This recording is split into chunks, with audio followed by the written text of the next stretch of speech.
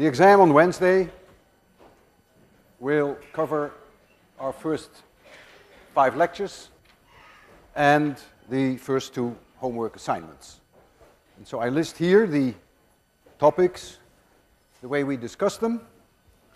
Of course, it is not possible to discuss all of them today, but I will make a selection. I recall that we discussed scaling and we used the interesting example of Galileo Galilei, an animal, and the animal has legs, and we defined the overall size of the animal as yay big. We called that S. And then we said, well, there is here the femur, and the femur has length L and thickness D. It was completely reasonable to say, well, that L will have to be proportional to S. If an animal is 10 times larger than another, its legs will be typically 10 times longer. Since the mass of the animal must be proportional to its size to the power 3, it will also be proportional to the length of the femur to the power 3. And then came in this key argument, namely, you don't want the bones to be crushed, which is called yielding in physics. If I take a piece of concrete, a block of concrete, and I put too much pressure on it, it starts to crumble. And that's what Galileo Galilei may have had in mind. And in order to protect animals who get bigger and bigger and bigger against this crushing, we argued, and I will not go through that argument now anymore, that the mass will have to be proportional to d squared, which is the cross section of the femur. And so you see immediately that d squared has to be proportional to L to the thirds, so d must be proportional to the length of the femur to the power one and a half. So this would mean that if you compare an elephant with a mouth, the elephant overall size is about 100 times larger than a mouse. You would expect the femur to be about 100 times larger, which is true. But you would then expect the femur to be about a 1,000 times thicker. And that turns out to be not true, as we have seen. In fact, the femur of the elephant is only 100 times thicker. So it scales just as the size. And the answer lies in the fact that nature doesn't have to protect against crumbling of the bones. There is a much larger danger, which we call buckling. And buckling is the phenomenon that the bones do this. And if now you put too much pressure on it, the bones will break.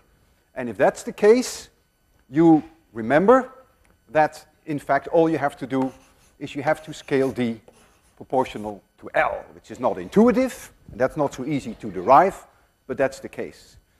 And so the danger then, what nat nature protects animals against, is this buckling. And when the buckling becomes too much, then I would imagine the bones at some point in time, well, these are tough bones, aren't they?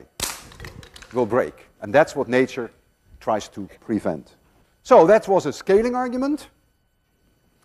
And let's now talk about dot products. If I look there, I scan a little bit in a random way over my topics. So let's now talk about dot products. I have a vector A, ax times x roof, which is the unit vector in the x direction, plus ay y roof, plus az z roof. So these are the three unit vectors in the x, y, and z direction, and these are the x component, y, and the z component of the vector A. I have another vector B, B of x, x roof, B of y, y roof, B of z, z roof. Now the dot product, A dot B, also called the scalar product, is the same as B dot A, and it is defined as AX BX plus AY BY plus A Z B of Z. It is a number. It is a scalar, it is a simple number. And so this number can be larger than zero, can be positive, it can be equal to zero, it can also be smaller than zero. They're just dumb numbers. There is another way that you can define, you can call this method number one if you, if you prefer that. There is another way that you can find the dot product, which gives you exactly the same result. If you have a vector A, and you have the vector B, and the angle between them is theta, then you can project B on A, or A on B for that matter, it makes no difference. And that projection, the length of this projection is then, of course, B cosine theta. And so A dot B, and that is exactly the same. You may want to go through a proof of that. It is the length of A times the length of B times cosine of theta. And that will give you precisely the same result. What is interesting about this formulation, which this lacks, that you can immediately see that if the two are at 90 degree angles, or 270 degrees for that matter, then the dot product is zero. So that's a, an insight that you get through this one, which you lack through that other method. Let us take a down-to-earth example of a dot product. Suppose A equals 3x and B equals 2x plus 2y. And I'm asking you what is the dot product. Well, you could um, use method number one, which uh, in this case is uh, by far the fastest, believe me. AX is 3 and BX is 2, so that gives me a 6. There is no AY, there is no AZ, so that's the answer. It's just 6. That's the dot product. You could have done it that way. It's a little bit more complicated, but I certainly want to show you that it works. If this is the x direction, and this is the y direction, we don't have to look into the z direction because there is no z component, then this would be vector A, and this point would be at 3. B, this would be 2, and this would be 2, and so this would be the vector B. And it's immediately clear now that this angle is 45 degrees. That follows from the 2 and the 2. So if we now apply method number 2, A dot B, first the length of A, that's 3, times the length of B, that is 2 times the square root of 2. This is 2, this is 2, this is 2 square root 2 times the cosine of 45 degrees, which is 1 half square root 2, and the answer is 6. Notice that this square root of 2 and this square root of 2 eat up this 2, and you get 6. You get the same answer, of course. But it would be a dumb thing to do it, since it can be done so much easier. Uh, on cross products, I don't want to go through the formalism of cross products the way we did that with the determinant. I just want to remind you that if you have a cross product of two vectors, that is minus B cross A, and that the, the magnitude of C is the length of A times the length of B times the sine of the angle between them. the vector C, the dot product, the cross product, is always perpendicular to both A and perpendicular to B. In other words, it's perpendicular to the plane of the two vectors. Now, if it's perpendicular to the plane, then in that case, it's perpendicular to the blackboard. You have two choices. It's either coming at you perpendicular or it's coming straight, straight into the blackboard. And now, everyone has so his own way of doing it. I taught you what's called the right-hand corkscrew rule. You take the first one that is mentioned, in this case A, and you rotate it over the shortest angle to B.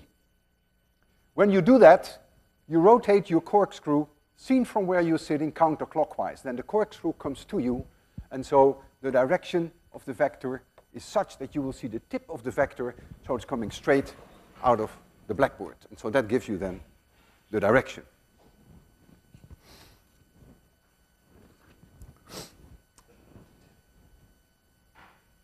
Now I will give you the position x of an object as a function of time.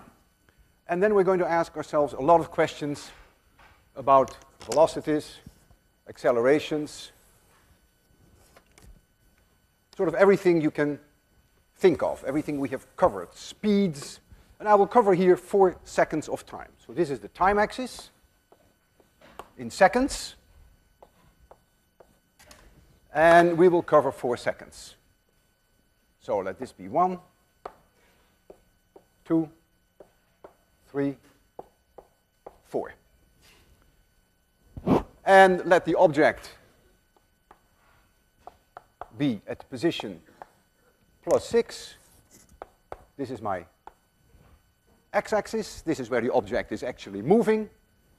And this is 3. And here is minus 3. And this, let's say, is in meters. Let's make a little grid so that it's easier for me to put in the, the curve.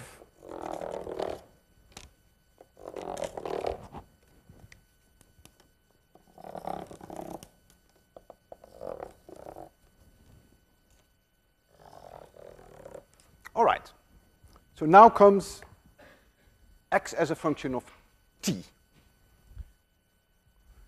The time t equals t seconds, the object is here, and it came from there. And this part is a parabola, and this parabola here is horizontal. It's important. You have to know that. So this is a parabola. And this here is horizontal. So the object goes from plus 6 to 3, then it goes to minus 3, then it stays there for one second, and then it goes back in one second to plus 6. It's a one-dimensional problem. The motion is only in the x-axis, along the x direction. Let's analyze all these different seconds that occur. Let's first take the first second, during the first second. Since this is a parabola, you know that the acceleration is constant. So I hope you will conclude immediately that a must be a constant. If a is a constant, the position x as a function of time should change as follows. x0 plus v0t plus 1 half a t squared. I expect you to know this equation. Very often do I give you equations at the exam, and that may well happen during the second and the third exam, but it will not be the case this time. The equations are all very fundamental, and you have to make them part of your world. So this is an equation that you will have to remember. All right, what is the velocity here? The velocity starts out to be zero, and the velocity here is not zero anymore. If I look at time t equals 1, Then I have here x0 was 6. It starts out with velocity 0, that's a given. And I get plus 1 half times at squared, but this is only one second. And so when it is at 3, I have 6 plus 1 half a times 1 squared, and so you'll find that a equals minus 6 meters per second squared. So during this first second, the acceleration is minus 6 meters per second squared. And the velocity v, as a function of time, is the derivative of this one, is v0 plus at. v0 was 0, and so that is minus 6 times t. So the velocity is changing in a linear fashion. What do I know about the end of the first second? Well, I can say that x is 3. What do I know about the velocity? Well, the velocity is minus 6. What do I know about a? I don't. I don't know about a. It's true that during this first second, a is minus 6 meters per second square, but it changes abruptly at this point, so it's ill-defined at this point. In fact, it's actually non-physical. So I really don't know exactly at the end what the acceleration is.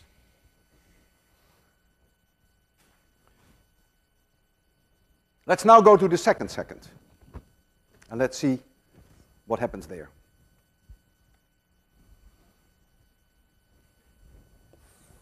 Second second. And first, let's look during, and then we'll look at the situation at the end. During the second second, it is clear, since this is a straight line, that the velocity remains constant, and it remains minus 6 meters per second. That is exactly what it was at this point at the end. You can see it goes 6 meters, from plus 3 to minus 3 in one second.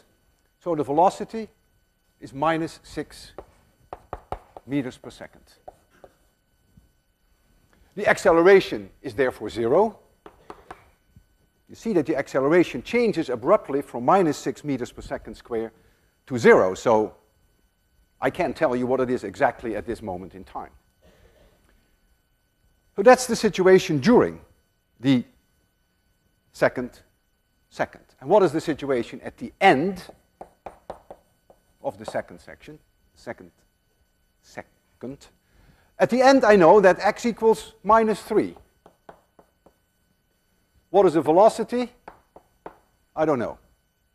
Because it changes abruptly here from minus 6 to 0, so I don't know exactly what it is at that point. It's a non-physical thing. It's a very abrupt change. And the acceleration yeah, that's also a very tricky thing. Because if the velocity is minus 6 on this side of the 2 seconds, and here becomes 0, and if that happens at, in, in a split second, there must be a huge acceleration just at that point, which is non-physical. So I would also put a question mark at the A. I don't know what the A is.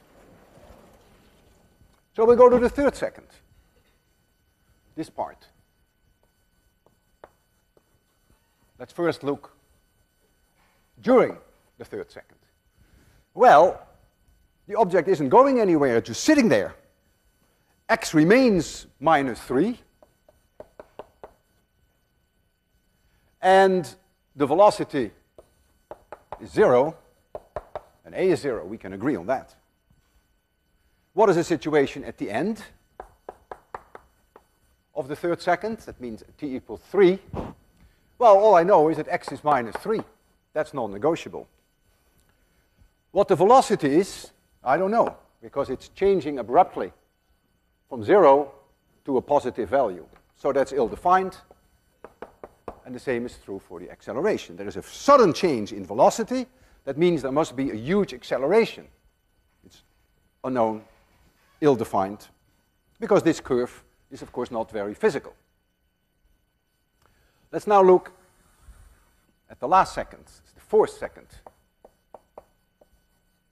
First during. Well, it's going from minus 3 to plus 6, and it's a straight line, so the velocity is constant. If the velocity is constant, then you can immediately conclude that a is 0, there's no acceleration. And it goes 9 meters in a time span of 1 second. But it's now plus, plus 9 meters per second. So the object first went from positive values of x to 0 and to negative values for x. During all that time, the velocity was negative by our sign convention, and now the velocity, it goes back to plus 6, the velocity becomes plus 9 meters per second. What is the story at the end of the four second? Well, all I can say is that x equals plus 6. I don't know much more. I don't know what the velocity is. Neither do I know what the acceleration is. The plot stops there anyhow. Now I would think that it is reasonable to ask the following question. What is the average velocity, for instance, between time 0 and time 4? Average velocity. We define average velocity as the position at time 4 seconds minus the position at time 0 divided by 4. That is our definition. At 0 it is at plus 6. At 4 it is at plus 6. So the upstairs is 0 so the average velocity during this four second trip is zero. You may not like that. It may go against your intuition. Of course, I couldn't agree more with you, but that's the way we define velocity. Speed is defined differently. Speed is the magnitude of the velocity vector.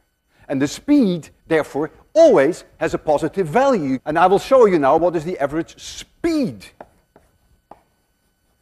between time 0 and 4. That is the distance that it has traveled in these 4 seconds. Well, let's first go through the first second. It goes from plus c 6 to plus 3. So it already travels 3 meters. Then in the second second, it goes from plus 3 to minus 3. So it travels another 6 meters. And then in the third second, it's lazy, it doesn't do anything. So the distance traveled is 0, and then in the last one second, it gets very active and it travels 9 meters. Notice you only see plus signs here. There are no minus signs. It would make no sense. And this occurs in 4 seconds. So that is four and a half meters per second. So the average speed is four and a half meters per second, but the average velocity is zero we could now make a plot of the velocity as a function of time. Let me put here the four and a half so I just have enough room here to make the velocity plot as a function of time. I'll make a new one. This is my time axis. And this is the velocity. This is zero. One second, two seconds, three seconds, four seconds. And this velocity is in meters per second. I go up here to plus 10, and here it's minus 5, here is minus 6. So what do I do now? I know that the velocity during the first second is minus 6t. So it's linear. And so the during the first second, this is the velocity as a function of time. It starts at zero, you can see that. And when it is here, it has a velocity of minus 6 meters per second. During the second second, it remains minus 6 meters per second. So during the second second, the velocity is not changing, stays there. during the third second, the velocity jumps all of a sudden to zero. You see how non-physical that is. And so all of a sudden, during the third second, it becomes zero. So there has to be somehow a connection, of course, between the two to make this physical. So in a very small amount of time, that will have to occur.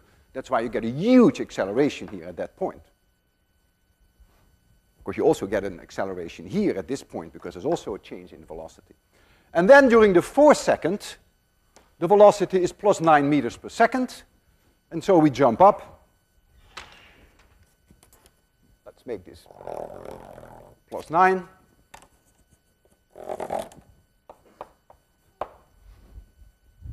And so we have here, during the last second, and again, this is non-physical, so there has to be somehow a transition. And so here you see the velocity as a function of time. Now comes an interesting question. Is it possible, if I gave you this, so this is a given, you can't see that, could you convert this back to that? And the answer is yes, provided that I tell you what the position is at t0, at t equals 0, x equals plus 6, and that is sufficient for you to use this information and to reconstruct that.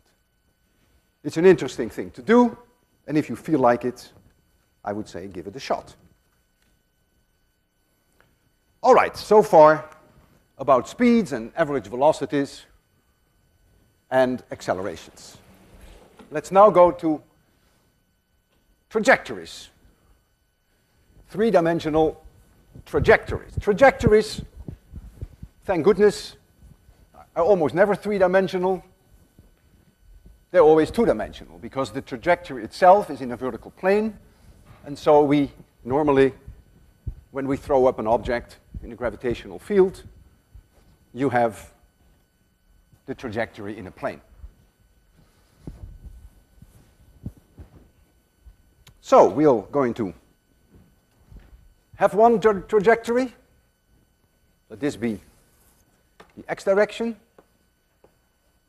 And let this be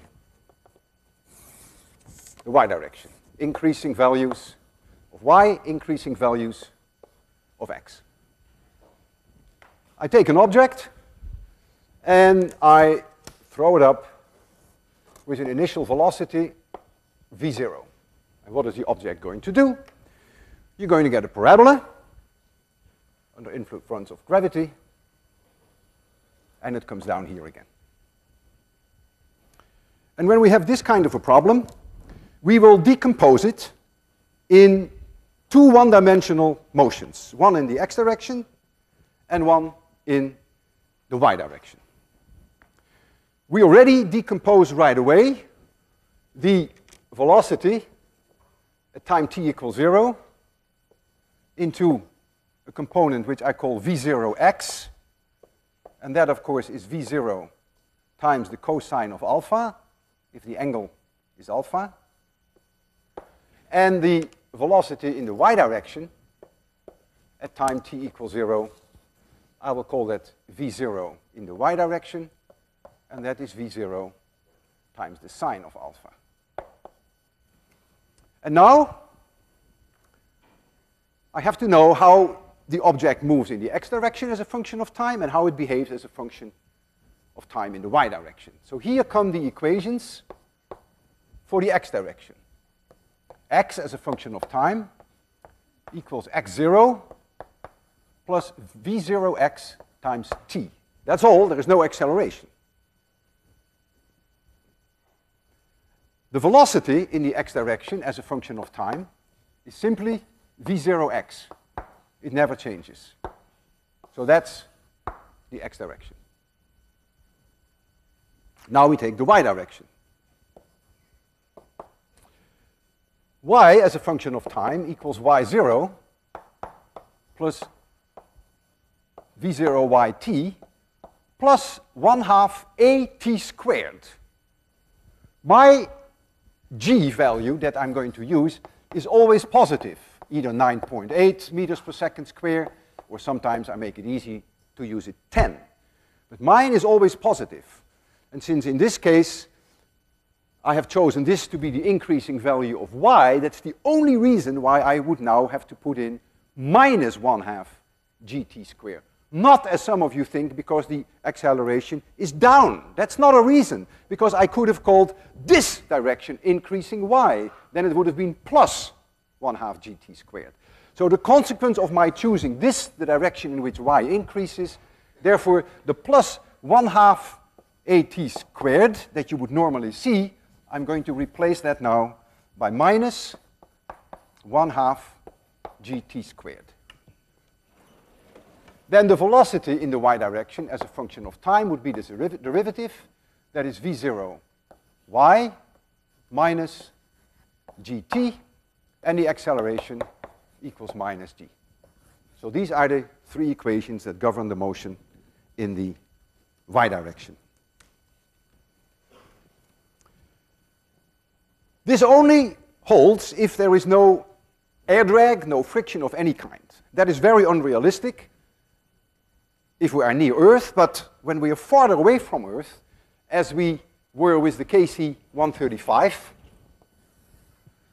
which was flying at an altitude of about 30,000 feet, that of course is a little bit more realistic. And therefore the example that I have picked to throw up an object is the one whereby the KC-135 at an altitude somewhere around 25 or 30,000 feet comes in at a speed of 425 miles per hour, turns the engines off, and then for the remaining, whatever it was, about 30 seconds, everyone, including the airplane, has no weight. So that's the case that I now want to work out quantitatively with you. In the case of the KC35, we'll take an angle for alpha of 45 degrees, and we'll take V0, which was about 425 miles per hour. You may remember that from that lecture. 425 miles per hour translate into about 189 meters per second. And so that means that the velocity v0y and v0x are both the same because of the 45 degree angle. And that is, of course, the 189 divided by the square root of 2, and that is about 133 meters per second. Both are positive. Keep that in mind because this is what I call the increasing value for y. And this is the increasing value of x. They're both positive values. Signs do matter. So this is a given now. And now comes the first question that I could ask you on an exam. When is the plane at its highest point of its trajectory? And how high is it above the point where it started when it turned the engines off, when it went into free fall. So when is it here, and what is this distance? Well, when is it there? That's when the velocity in the y direction becomes zero. It is positive, gets smaller and smaller because of the gravitational acceleration, comes to a halt and becomes zero. So I ask this equation, when are you zero? This is the one I pick, and so I say zero equals plus 133 minus 10 times t. You may think that the gravitational acceleration at an altitude of 30,000 feet could be substantially less than the canonical number of 10. It is a little less because you're a little bit further away from the Earth, but it's only 0.3% less. And so we'll just accept the 10. Too easy to work with. And so when is it at the highest point? That is when t equals 13.3 seconds. So that's about how long it takes to get there. When I gave the lecture last time, I said it's about 15 seconds because I made the numbers, I rounded them off. It's about 30.3 seconds. And what is this distance h now? Ah, now I have to go to this equation. I say h equals zero because I'm going to define the point where the plane starts its trajectory. I call that y0, zero. I'm free to do that. h equals zero plus 133, that is the speed, times 13.3 seconds, minus 1 half times g, that is 5, times 13.3 squared. That is what h must be. And that turns out to be about 885 meters. I think I told you last time it's about 900. Close enough. So we know now how long it takes to reach P, and we know what the vertical distance is. And the whole trip back to this starting point, if we call this sort of the starting point, starting altitude, this whole trip will take twice the amount of time. To get back to this point, when the engines are restarted, is about 26 and a half, 27 seconds. How far has the plane traveled then in horizontal direction? Well, now I go back to this equation. So now I say, aha, x then, when it is back at this point, must be x0, which I conveniently choose 0, plus 133 meters per second, which is the velocity in the x direction, which never changes. When the plane is here, that velocity in the x direction is the same 133 meters per second as it was here, which, by the way, is about 300 miles per hour. That never changes if there is no air drag or air friction of any kind. So we get plus 133 times the time. The whole trip takes 26.6 seconds. And that, if you convert that to kilometers, is about three and a half kilometers. Now you could ask yourself the question, what is the velocity of that plane when it is at that point S? And now you may want to abandon now this one-dimensional idea of x and y. You may say, well, look, this is a parabola, it's completely symmetric. If the plane comes up here with 425 miles per hour at an angle of 45 degrees, then obviously it comes down here at an angle of 45 degrees, and the speed must again be 425 miles per hour. And you would score 100%, of course, it's clear.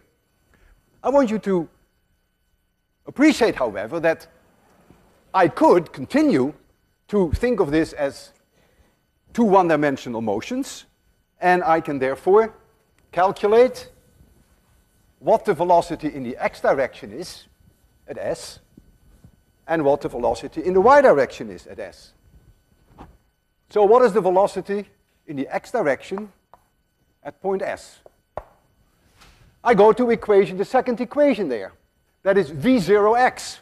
That is plus 133 meters per second. What is the velocity in the y direction? Ah, I have to go to this equation now. v0y minus gt.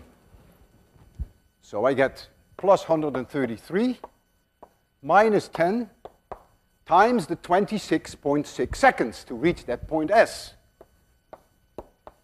And what do I find? Minus 133 meters per second. The velocity in the y direction started off plus 133, but now it is minus 133. You see, this is sign sensitive. This is wonderful. That's the great thing about treating it that way. So you now know that it comes in with a velocity of 133 in the x direction, positive, 133 in the minus y direction. And so what is the net? The sum of the two vectors, that of course is this vector. And no surprise, this angle is 45 degrees. And this one is the square root of 2 times 133. And that of course gives you back your 189 meters per second. 189, this is a 9 meters per second. And that is 425 miles per hour. I'm not recommending that you would do this, of course. It is perfectly reasonable to immediately come to that conclusion because of the symmetry of the parabola. Let's now turn to uniform circular motion. Uniform circular motion occurs when an object goes around in a circle and when the speed never changes. If the speed doesn't change, then the velocity, of course, does change, because the direction changes all the time. But the speed does not. So here we have our circle. Let this be radius r. And at this moment in time, the object is here, has a certain velocity. This is 90 degrees. And at later in time, the object is here. The speed is the same, but the direction has changed, 90 degrees. So these vectors should have the same length. In a situation like this, that we have uniform circular motion, so it's uniform,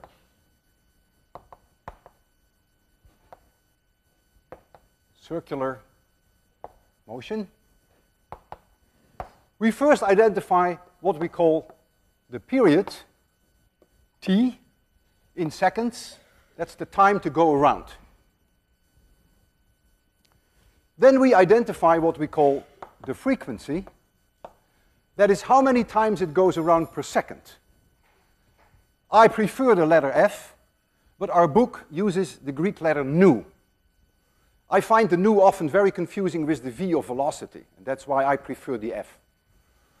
It is 1 over t, and so the units are second minus 1, but most physicists would call that hertz. 10 hertz means to go 10 times around per second. And then we identify omega, the angular velocity, omega, which is in radians per second. Since it takes t seconds to go around 2 pi radians, omega is 2 pi divided by t. Now then we have the speed, which we can also think of as a linear velocity, how many meters per second is linear as opposed to how many radians per second, which is angular velocity. So this is a linear velocity, this is an angular velocity. And that linear velocity, which in this case is really a speed, is of course the circumference of the circle divided by how many seconds it takes to go around. And that is also omega r. And that is now in meters per second. All this is only possible if there is an acceleration. And the acceleration is called the centripetal acceleration. It is always pointed towards the center, A centripetal, A centripetal.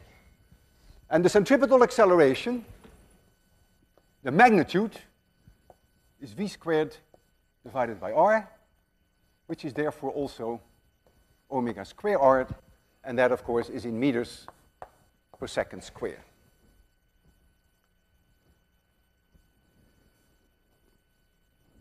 I want to work out a specific example, and the example that I have chosen is the human centrifuge that is uh, used by NASA in Houston for experiments on humans to see how they deal with strong accelerations. This is that centrifuge. The radius from the axis of rotation, the axis of rotation is here, and the distance from here to here, though you may not think so, is about 15 meters. So the astronauts go in here, and then the thing goes around. And so I would like to work out this with some, some numbers.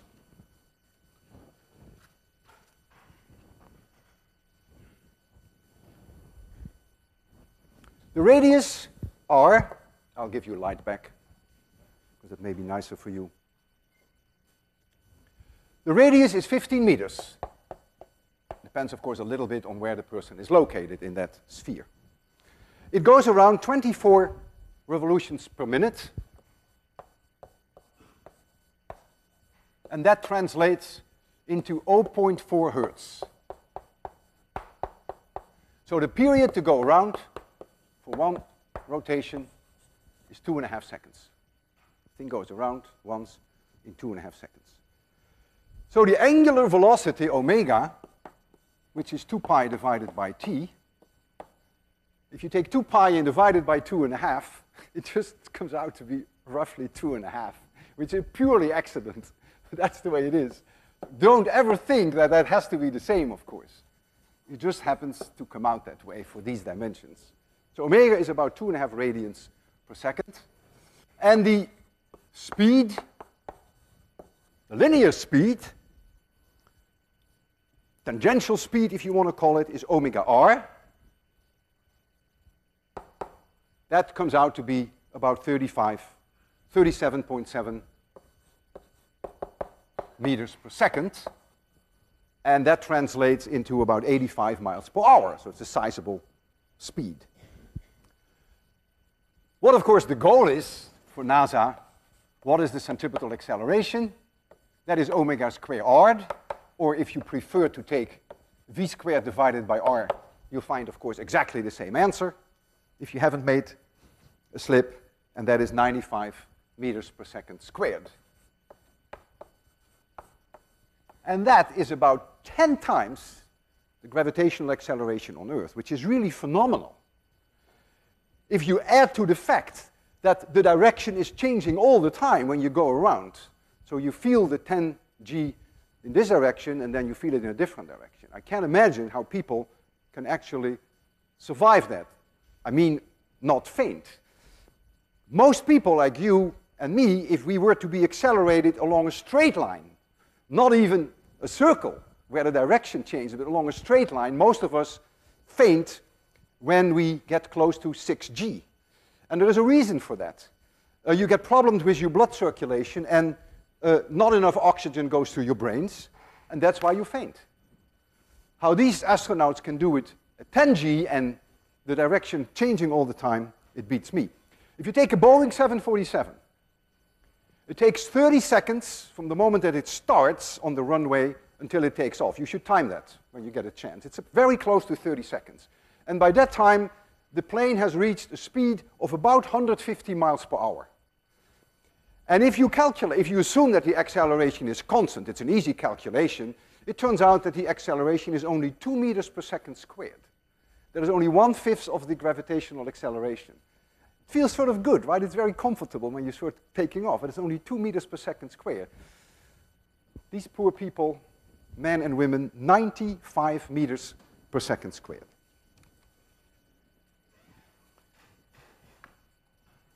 I would like to address something that is not part of the exam, but that is something that I want you to think about, something that is fun. And it's always nice to do something that is fun. It has to do with my last lecture.